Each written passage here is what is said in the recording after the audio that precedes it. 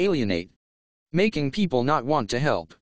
The man alienated the nurse by being mean.